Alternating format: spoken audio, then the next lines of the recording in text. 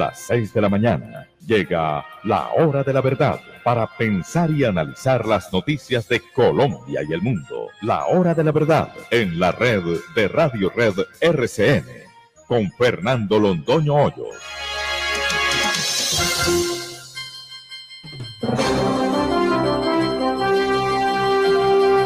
Muy buenos días, queridos amigos de la hora de la verdad.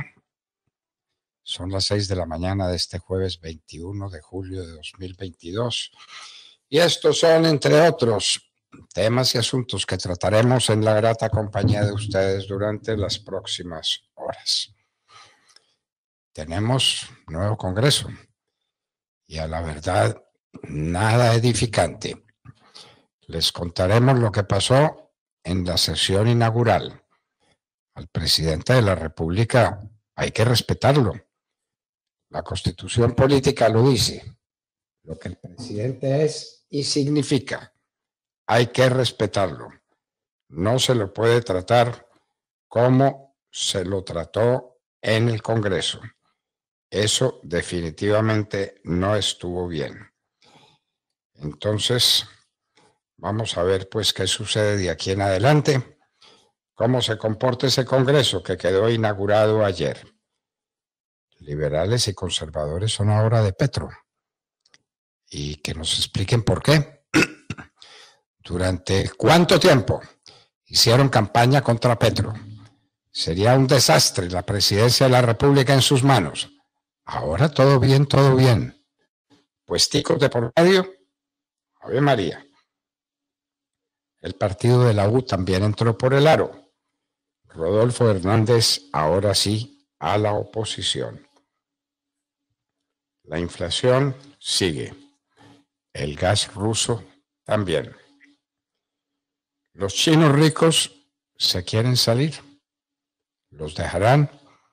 Hay una situación que no tiene antecedentes en el sistema político centralizado de China con un sistema económico absolutamente liberal.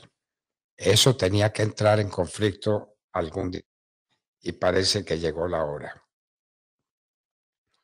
Ola de calor deja tras de sí muertes e incendios en Europa. También en los Estados Unidos ha habido ola de calor con resultados catastróficos. Netflix frena la hemorragia, pero pierde suscriptores. En Maryland ganaría el candidato de Trump. El joven que hizo de policía en Indiana. ¿Cuántas vidas salvó? Un joven que tenía un arma legítimamente adquirida se enfrentó a un bandido que estaba matando a la gente y lo dio de baja. Hoy es un héroe nacional con arma legítimamente conseguida. Un argumento bien interesante para los que defienden la tenencia de armas en los Estados Unidos. A juicio, el conflicto de Elon Musk con Twitter, un conflicto sobre un negocio que valía 446 mil millones de dólares para alquilar balcón.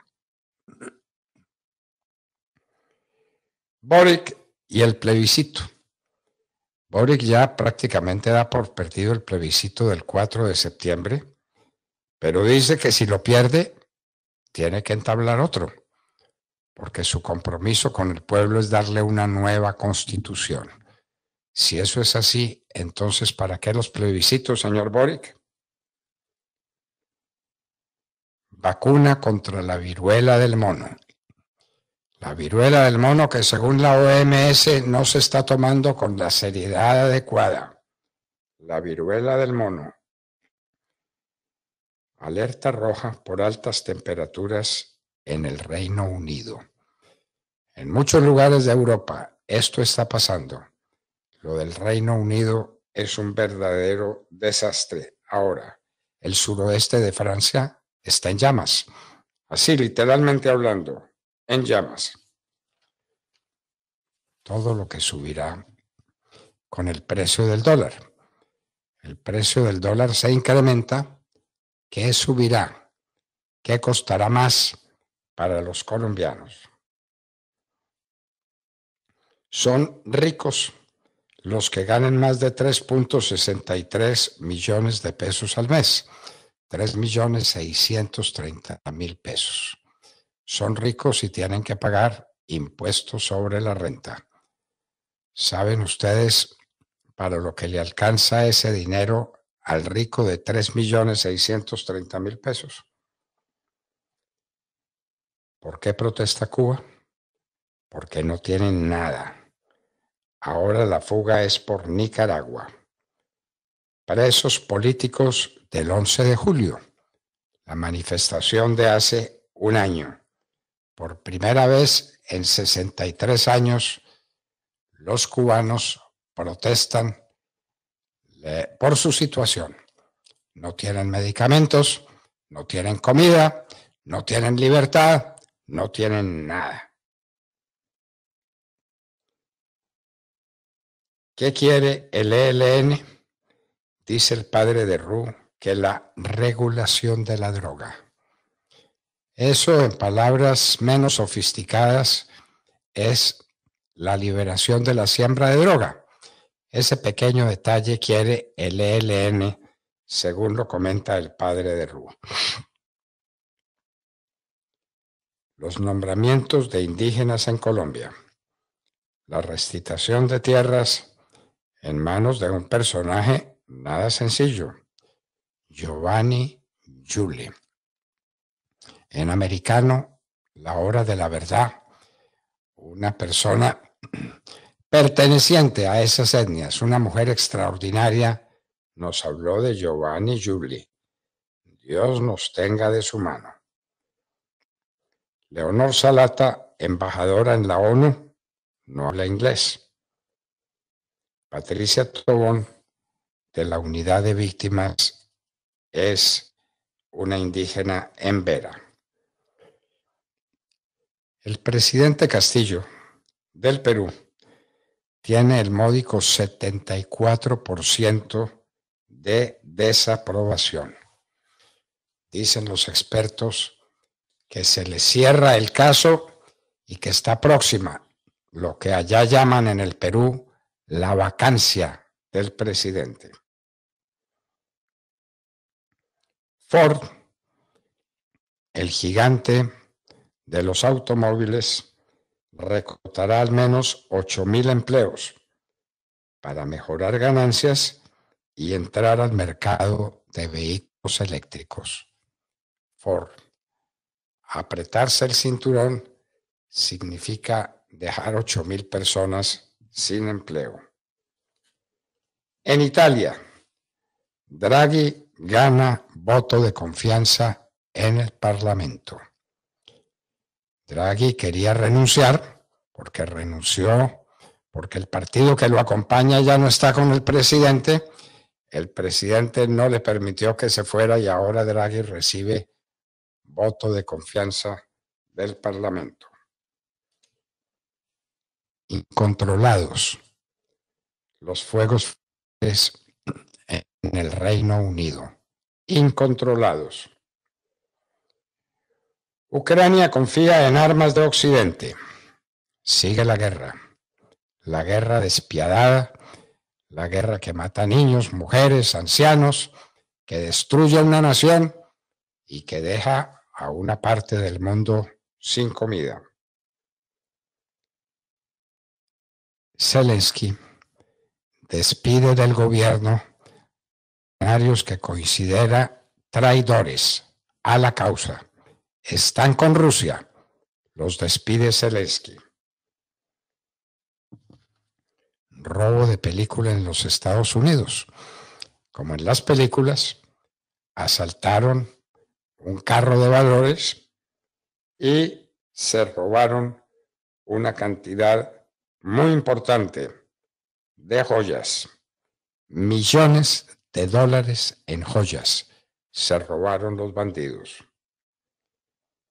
Arrestada la eh, eh, promotora del partido de izquierda en los Estados Unidos, Alejandra Ocasio Cortés, en una manifestación pro aborto. Fue arrestada Alejandra Ocasio Cortés. Siguen las protestas en Panamá. Las peores en muchos años. Continuará por días el calor extremo en Europa. ¿Cuánto más resistirá el continente lo que está pasando? Plan de racionamiento de gas en Europa para este final del año. El final del año viene el invierno, con el invierno la necesidad de calefacción, con la necesidad de calefacción la necesidad de gas. ¿Cómo la manejará Europa? Y otra vez aumentan los casos de la viruela del mono. Por Dios, que lo tomen en serio. Y en hoy en la historia, en un día como este, en el año 356 antes de Cristo, Heróstrato incendia el templo de Artemisa o Diana, una de las maravillas de la antigüedad. ¿Por qué incendió Heróstrato el templo de Diana? Porque quería ser famoso. En castigo, se prohibió que se mencionara su nombre. Han pasado 25 siglos y la gente sigue hablando de la barbaridad del pastor que por hacerse famoso incendió una de las joyas de la antigüedad clásica. De todo esto y de mucho más hablaremos con ustedes en las próximas horas aquí en la hora de la verdad. Recuerden tenerlo en sus dispositivos móviles, en su tablet en su smartphone, la aplicación TuneIn para que puedan escuchar la hora de la verdad en Colombia o cualquier parte del mundo. Y otra forma en la que pueden sintonizar nuestra señal es a través de Facebook Live y a través de YouTube. Y también en nuestra página de internet www.lahoradelaverdad.com.co. Estamos en los diales 970 AM en Bogotá, 710 AM en Medellín y 1200 AM en Cali de Radio Red de RCN. Y en Cincelejo a través de Radio Sabana de Cincelejo en los 1370 AM. También nos encuentran en los sistemas de podcast, los más populares de todos. Ustedes nos pueden encontrar principalmente a través de Apple Podcast y a través de Spotify, donde está todo nuestro contenido, las emisiones, obviamente las entrevistas y todas las secciones y temas que son de su interés. Y no olviden eh, que los oyentes son lo más importante que tenemos en la hora de la verdad y con todos nos encanta estar en contacto y hay muchas maneras de hacerlo. Recuerden, nos pueden seguir en Twitter y enviarnos sus comentarios en nuestra cuenta arroba hora de la verdad. También estamos en Instagram, nuestra cuenta es arroba hora de la hora de la verdad oficial. Y en Facebook, donde siempre estamos eh, pendientes de sus opiniones y de sus comentarios. En Colombia ya tenemos las 6 de la mañana, 14 minutos. Bienvenidos, esta es la hora de la verdad. En la red de Radio Red RCN, la hora de la verdad con Fernando Londoño Hoyos y su equipo periodístico.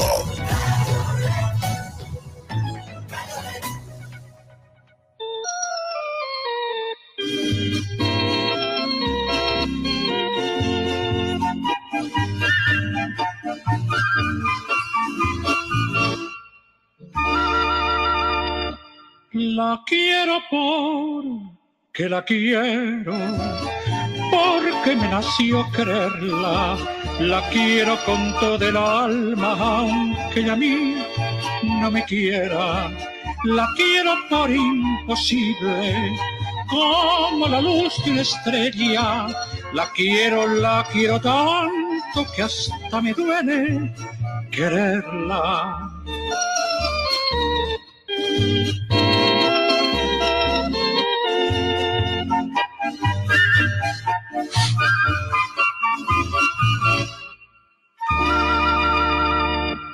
La quiero porque la quiero, porque me nació quererla.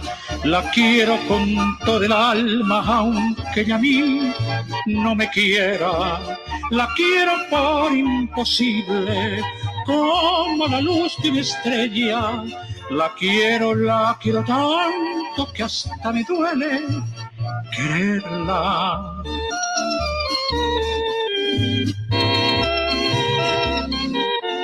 Es el gran Víctor Hugo Ayala, quien durante mucho tiempo fue el cantante oficial del himno nacional de Colombia. Qué voz la suya, qué tonalidades, qué cantante ha sido Víctor Hugo Ayala, nacido en 1934. Con esa hermosa canción y con ese gran cantante, saludemos la mañana de Mar Córdoba. Doctor Fernando, muy buenos días para usted, buenos días para Cindy La Rota, para la Tata Castro, para Germán Sánchez, para Wilson, para Francisco y toda nuestra audiencia que a esta hora se conecta con la hora de la verdad para escuchar el análisis de las noticias más importantes del momento. Ayer pasado a las 4 de la tarde se dio inicio a la instalación del Congreso de la República para el periodo 2022-2026 un evento que francamente hacía mucho tiempo no veíamos tan desorganizado y tan confuso como el que se intentaba el día de ayer para esa instalación del Congreso. Se empezó con un discurso del presidente de la República, Iván Duque, quien en los minutos que tuvo ante el Parlamento aprovechó para hacer un balance de su gestión en estos cuatro años frente al país.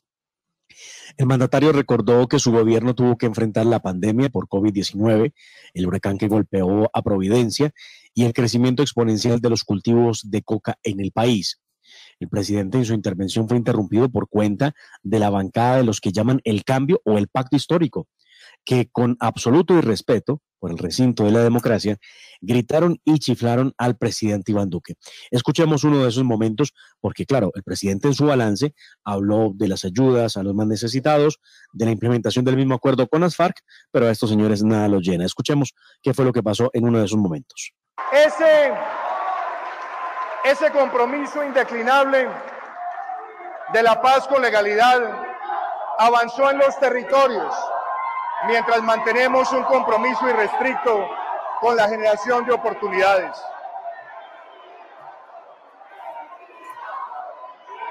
Ese compromiso irrestricto con la paz una vergüenza escuchar grita, cuando gritaban estos señores de la extrema izquierda, mentiroso, mentiroso al presidente Iván Duque.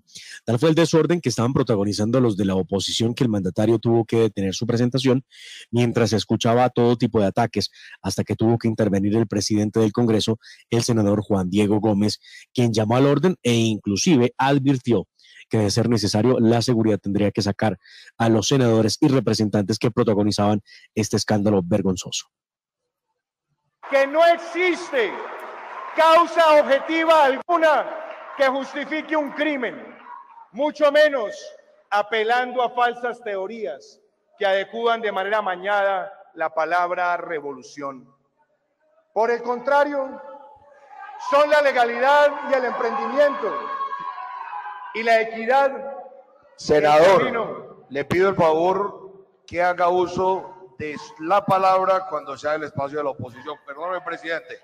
Escúcheme, escúcheme. Si esa es la forma que tiene, le pido el favor a la seguridad del Congreso que se encargue de prestar el orden. Por el contrario. eso no es, esas no son las formas en el recinto de la plenaria del Congreso de la República no, no son amenazas, es real. Me da pena con ustedes, pero es real. Les pido el favor que guarden compostura. Senador Iván, por favor. Tienen, apenas el presidente termine, tienen 20 minutos para que hagan sus intervenciones, por favor. No tiene problema.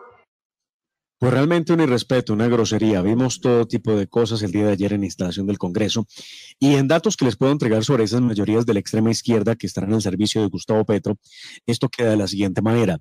En el Senado tienen 20 votos por el Pacto Histórico, 14 por el Partido Liberal, 12 por el Partido Verde, 7 de las minorías donde están los comunes y los, y los indígenas. Eh, también está el Partido de la U con 10 curules, para un total de 63 votos siendo la mayoría necesaria para aprobar cualquier proyecto 53 votos. Tienen 10 más de los necesarios. En Cámara de Representantes son 100 los representantes de gobierno, contra 88, donde están los 16 del Centro Democrático, y los demás partidos que se declararon en independencia, lo que no significa que no vayan a apoyar las ideas o los proyectos que tiene pensado el señor eh, Gustavo Petro. Por cuenta del acuerdo con las FARC, recuerden ustedes, ya son 26 curules, más las que hay que sumarle al Congreso de Colombia desde el año 2018. Me refiero a las 10 que se le entregaron al grupo FARC y las 16 que se le entregaron a los que llamaron representantes de las víctimas o curules para la paz. Así las cosas, eran 108 curules en el Senado, 187 en la Cámara, para un total, oigan muy bien, de 295 curules. En la Cámara se pasó de 171 curules en 2018 a 2022 a 187 para el periodo 2022-2026. Este Congreso tendrá un 29% de las curules ocupadas por mujeres. Es un dato que vale la pena reflejar. De los 295 parlamentarios que deberán empezar su periodo de trabajo, 181 eh, de estos congresistas fueron elegidos por primera vez eh, de un total de 295. Lo cierto es que por ahora y seguramente con la promesa de más burocracia, el pacto histórico de Petro tiene las mayorías. Ya veremos si la mermelada les alcanza para ponerla sobre toda la tostada. Eso lo veremos muy pronto. Ave María, por Dios, la mermelada sobre la tostada.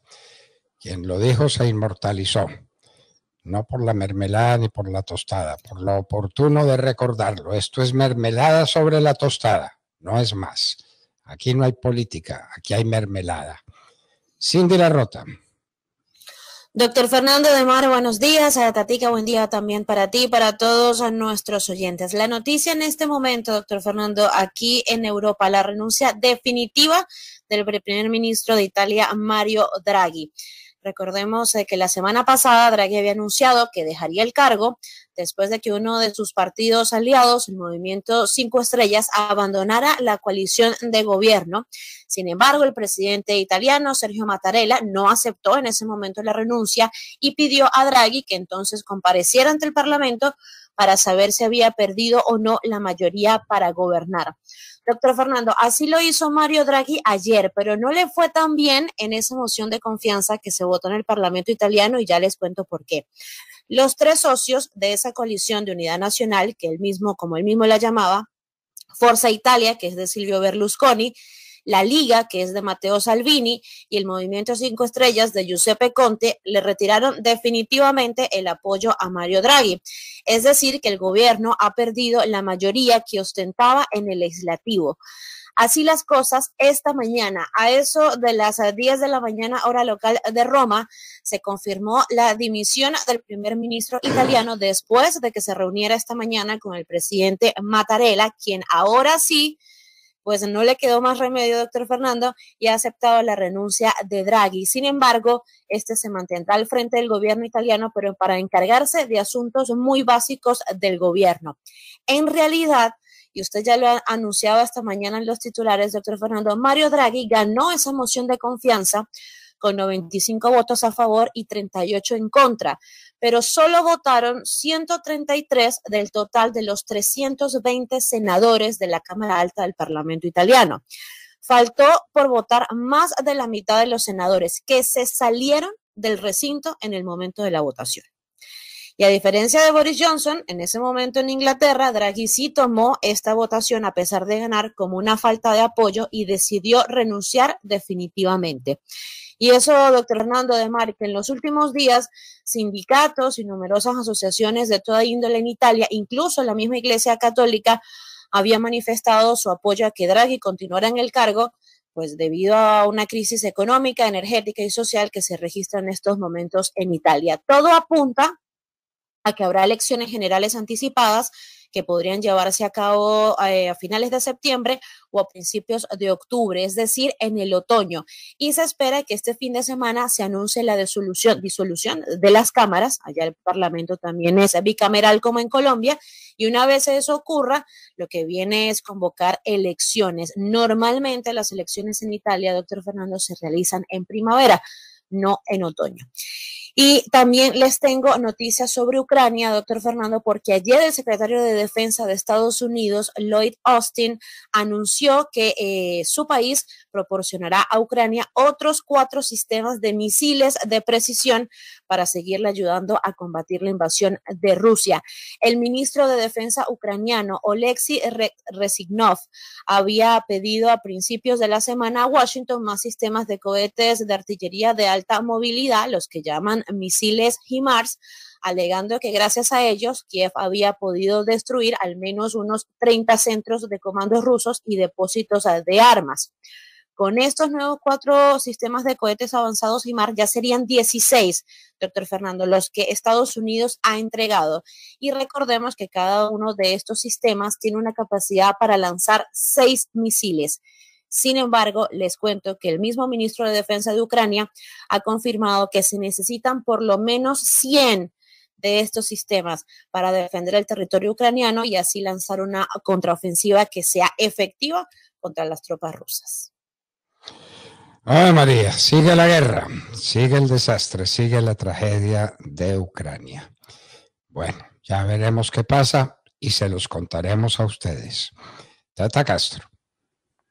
Muy buenos días a todos. En materia deportiva, les cuento que ayer un duelo entre los favoritos se vivió en la etapa 17 de alta montaña del Tour de Francia, donde logró imponerse el esloveno Tadej Pogacar sobre el líder, el danés Jonas Vinegar, quien se mantuvo al frente de la general, perdió solo cuatro segundos frente a su rival por las bonificaciones. Tercer triunfo para Pogachar en esta edición, doctor Londoño, y la novena victoria en el Tour. Ambos corredores se mostraron muy superiores a los demás el duelo Vinegar-Pogachar destrozó al resto. Brandon McNulty fue tercero a 32 segundos, Gerard Thomas se dio 2 minutos y 6 segundos, Román Bardet 2 minutos y 38 segundos y Nairo Quintana 3 minutos y 32 segundos. Nairo se mantuvo en el cuarto lugar de la general, está a 2.57 del podio, o sea, del tercer lugar, y a 7.53 del líder. Hoy jueves más emoción en los Pirineos la decimoctava etapa entre Lourdes y Otacam de 143.2 kilómetros. Promete la gran batalla por la general con un recorrido que incluye en la segunda mitad tres grandes puertos. Primero uno de categoría especial, seguido uno de primera y el último la meta de categoría especial donde ascenderán 13.6 kilómetros al 7.8%. Este será el último puerto del Tour 2022 de donde podría salir la foto final del podio o esperar la crono del sábado. El Tour está muy más interesante que nunca. Última oportunidad para los que todavía no pierden la esperanza de subirse al podio. Para terminar, no podemos dejar de mencionar lo logrado por la Selección Colombia Femenina de Fútbol en la Copa América que se está llevando a cabo en nuestro país. Ayer golearon a Chile 4-0 en el cierre del Grupo A y avanzaron a semifinal como primeras del grupo, como, con puntaje perfecto. Tres jugados, tres ganados. Esperan en semifinal al ganador de Argentina y Venezuela, quienes se enfrentan hoy a las 7 de la noche en Armenia. Más adelante en nuestra sección deportiva ampliaremos esta y otras noticias. Muchas gracias, Tata. Y en un minuto estaremos con la senadora por el Centro Democrático, Paola Holguín. En un minuto.